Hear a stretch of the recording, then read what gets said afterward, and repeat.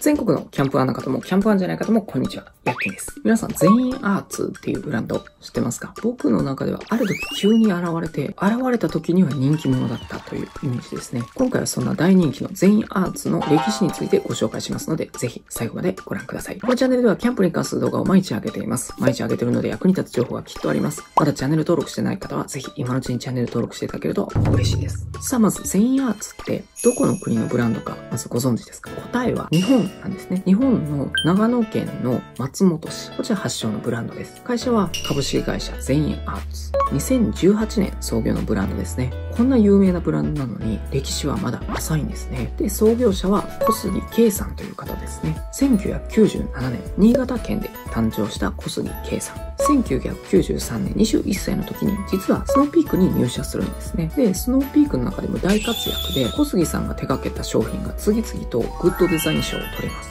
で、グッドデザイン賞っていうのは見た目も良くて中身も良くてっていうものじゃないと取れないので、かなりやり手の方だったんだと思います。で、26歳で転職します。別の会社に行きます。で、30歳でまた別の会社に行きます。で、33歳でまたスノーピークに戻ってくるんですね。やっぱり、すごくやり手の方なので、スノーピークも戻ってこれるんですよね。なかなかないですよね。スノーピークに戻ってこれる。あんな大きな会社で。で、35歳の時に独立するんですね。一度独立します。ですが結局独立したんですが38歳の時にまた別の会社に入ります。で、39歳の時にまたスノーピーク戻ってくるんですね。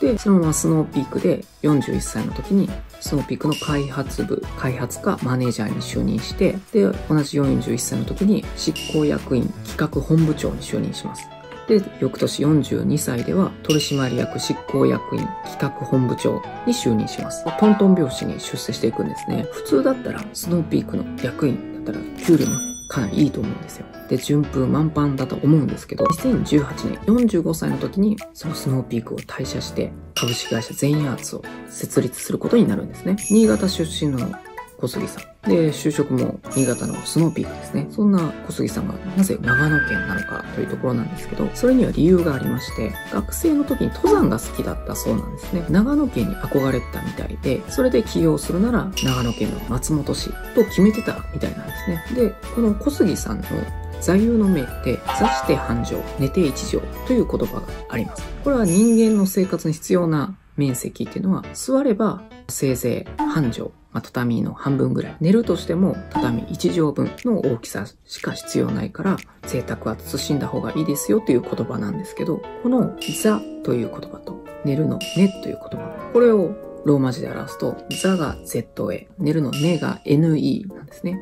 それを合わせて全圧の全員になります。で、アーツがアートの複数形ですね。芸術の複数形。それを合わせて全員アーツという名前なんですね。で、お客様が、まあ、これだよねと選んでくれるような本当に必要なものを生み出すためにシンプルさや実用性を追求していきたい。そんな思いが込められているそうです。で、全員アーツのロゴっていうのは Z と N が組み合わさったマークなんですけど、きちんとですね、Z が座ってるように見えて、N が寝転んでるように見えるようになってるんですね。で、全員アーツのギアというのは小杉さんのこだわりで、機能美と芸術性両方を同時に同格で追求するというのがこだわりなんですね。なのでかっこよくても使えないものは作らないし、めちゃくちゃ使えるけどかっこ悪いものは作らないんですね。プラス自然との調和も考えて作られているので、外で使ってもかっこいいように作られてます。ちなみに製品の名前、結構なんか意味はわからないけどかっこいい響きのもの多いですよね。あれ実は製品名は全て日本語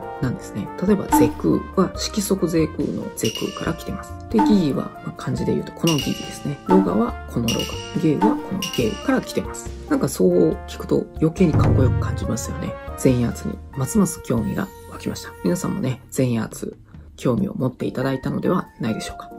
では今回の動画はここまで。次回の動画でお会いしましょう。ではまた。